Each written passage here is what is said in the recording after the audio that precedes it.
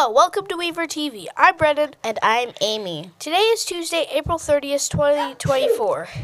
Today for lunch is Beef meatballs with beef gravy, mashed potatoes, dinner rolls, steamed peas, fresh fruit, and assorted fresh veggies.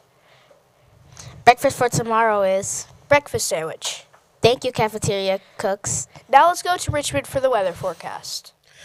Good morning. Today will be cloudy with a 60% chance of rain. The high is 67 and the low is 48 degrees. Winds are up to 10 to 15 miles per hour.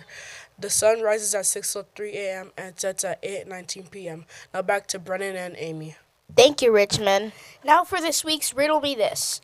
My first is a preposition. My second is a composition. My whole is an accusation.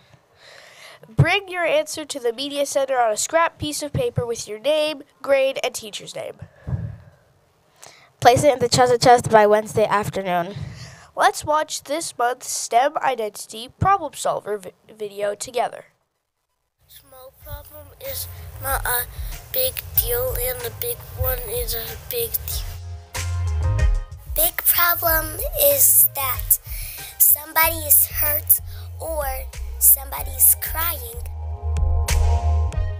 have to solve the little problems, normally I would try to solve it by myself, but if it escalates and becomes a big problem, I will try to get some help. Small problem is when is when something happens to you but it's not really like big.